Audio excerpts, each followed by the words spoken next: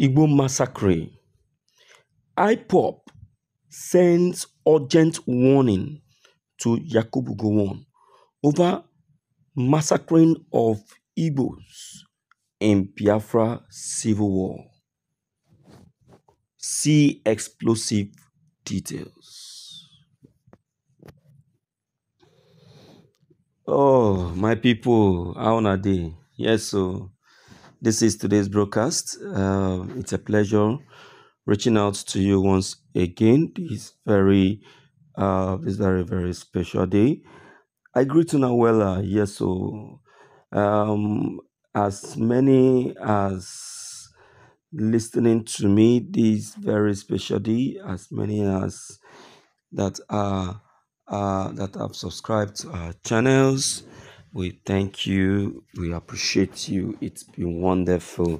Thank you so so much. Yes, no be small thing, my people. Um, now I pop now in they send this very urgent message to Yakubu Gowon because in interference don't you know it don't too much. Most especially on the issue of this Biafran uh, uh, on this Biafran uh, exits.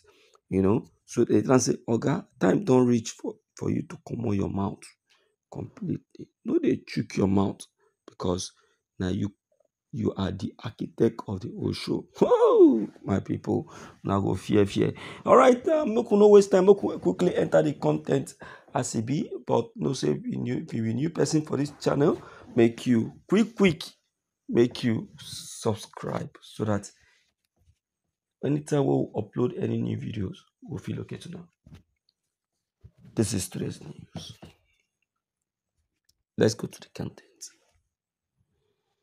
The indigenous people of Biafra, IPOB, has once again stirred controversy, this time leveling grave accusations against former Nigerian head of state, General Yakubu Gowon, retired. In a scathing rebuke, IPOB alleges that Gowon orchestrated a genocide against the Igbo people during the Biafran Civil War, branding him a genocidist and condemning his recent remarks as self glorifications for the massacre of thousands. In a statement issued by IPOB spokesperson Emma Powerful, the group vehemently asserts that Gowon led what they term as the second bloodiest genocide after the Israel Holocaust against the Igbos between 1967 and 1970.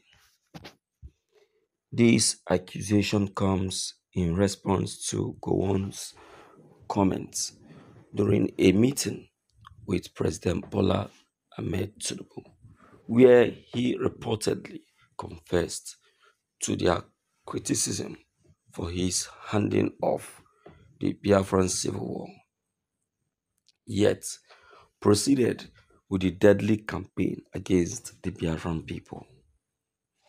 According to IPOB, Gowon's admission serves as a chilling reminder of the atrocity committed during that dark period of Nigerian history. They argue that while Gowon may bask in his own perceived glory, the scars of the genocide still haunt the Igbo community, with the effects reverberating through generations. Till date, till date, people, the Igbos, will still be remembering all that transpired during the Biafran War. We there, you know, they oh, then go still they remember because because it was bloody. It was bloody. You see, I I kept telling people that the the generation of the Biafran people or the or, or, or, the Biafran civil war we still not forget what happened to their forefathers. That is what is happening right now in the southeast.